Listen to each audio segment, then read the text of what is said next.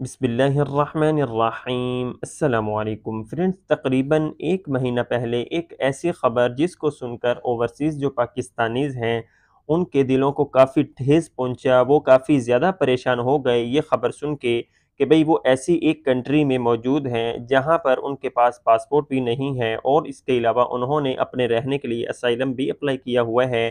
پھر ایک ایسی خبر ان پر آ جاتی ہے کہ بھئی ان کا جو پاسپورٹ ہے وہ بین کر دیے جاتے ہیں، جس کی وجہ سے وہ کافی زیادہ پریشان ہو جاتے ہیں۔ اسی ٹاپک کو لے کر کل ایک جو ڈپٹی پرائم منسٹر ہیں اور اس کے علاوہ جو منسٹر ہیں، سینیٹر ہیں فورن افیئر کے محمد اسحاق، ان کے درمیان میں ایک اہم میٹنگ ہوئی ہے۔ اب اسی ٹاپک کو لے کر کہ بھئی جو آپ نے پانچ جون دو ہزار چوبیس کو یہ فیصلہ کیا تھا کہ بھئی آپ نے ان ان اوورسیز پاکستانیوں کے جو پاسپورٹ ہیں وہ منسوخ کر دیے ہیں بین کر دیے ہیں، جنہوں نے کسی ایسی کنٹری میں اپلائی اسائلم اپلائی کیا ہوا ہے تاکہ وہ وہاں کا پاسپورٹ حاصل کر سکے، وہاں پر جو ہے وہ ڈاکومنٹس وغیرہ حاصل کر سکیں۔ تو آپ نے کیا کیا ہے؟ ان کے جو پاسپورٹ ہیں پاکستان کے وہ بین کر دیے ہیں۔ اسی ٹاپک کو لے کر کل ایک اہم میٹنگ ہوئی ہے۔ اگر میں اس سارے کے سارے جو جو ٹاپک ہے، اس کا ٹو دا پوائنٹ بات کر سکوں، تو یہاں پر ہمیں یہ شو کرتا ہے کہ پاکستانی گورنمنٹ نے حال ہی میں ایک ایسا فیصلہ کیا کہ بھئی جو پاکستانی اوورسیز میں موجود ہیں اور انہوں نے آر ڈی اسائلم اپلائی کیا ہوا ہے اور وہاں پر وہ رہ رہے ہیں یا پھر اپلائی کیا ہے یا پھر وہ آر ڈی اسائلم پر رہ رہے ہیں۔ دونوں صورتوں میں کیا ہوگا؟ ان کے جو پاکستان کے پاسپورٹ ہیں وہ بین کر دیے جائیں گے۔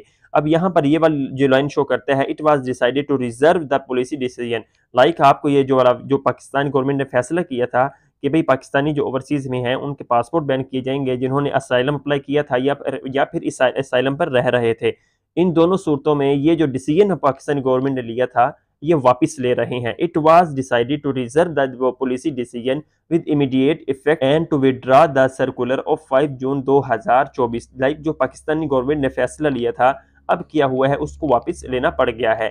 اور اس کے نیچے ہمیں یہ والی جو لائن ہے یہ شو کرتا ہے issuing related to delays in issuance of passport to Pakistani living abroad were also discuss secretary interior and director general IMPASS like passport جو ہیں، ان کے درمیان میں یہ ایک اہم میٹنگ ہوئی تھی اور اس کے علاوہ اب انشاءاللہ آنے والے پنتالیس دنوں کے اندر اندر آپ کا جتنا بھی معاملہ ہوگا وہ حل کر دیا جائے گا۔ آپ کو پاسپورٹ بھی ایشو کیے جائیں گے اور فوراں سے پہلے بھی ایشو کیے جائیں گے۔ ٹو دا پوائنٹ بات کی جائے تو بھئی جو پاکستانی گورنمنٹ میں حال ہی میں جو فیصلہ لیا تھا کہ بھئی پاکستانی جو پاکستانی اسائلم میں رہ رہے ہیں یا پھر اس کے علاوہ اسائلم اپلائی کر چکے ہیں، ان دونوں صورتوں میں پاسپورٹ بین ہو جائیں گے۔ یہ جو فیصلہ کیا گیا تھا، اب اس کو واپس لے لیا گیا ہے۔ اب انشاءاللہ آپ کے جو پاسپورٹ ہیں وہ بھی بنیں گے اور فوراں سے پہلے بنیں گے۔ آپ سب کے قیمتی وقت کا بہت بہت شکریہ۔ اللہ نگہبان، السلام علیکم۔